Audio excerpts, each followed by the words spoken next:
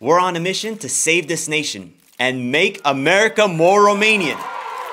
And we're gonna do it all in just 10 easy steps. Number one, traditional Romanian music in every Walmart. We're gonna bring the joy of manele and folk music to every shopping experience across the nation. Number two, Dracula themed amusement parks in every state. Each park would feature haunted castles, vampire shows, and Transylvanian thrills.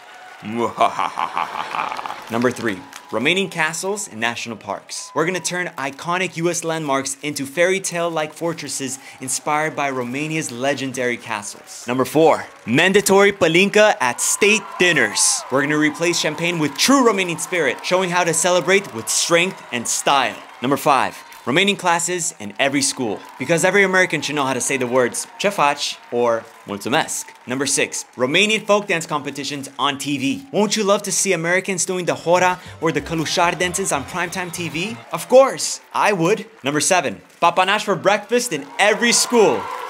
Every child should start their day with Romania's favorite dessert, papanaș. Oh, just wait till you try them. My mouth is watering already. Number eight, honorary citizenship for anyone who eats a full platter of Romanian food. If you can finish a plate of sarmale, cârnați, or papanaș, you're practically Romanian. Number nine, replace fast food chains with mici stands. Goodbye, GMO burgers. Hello, homemade grilled meat. For you, for you, for you, and for all of you.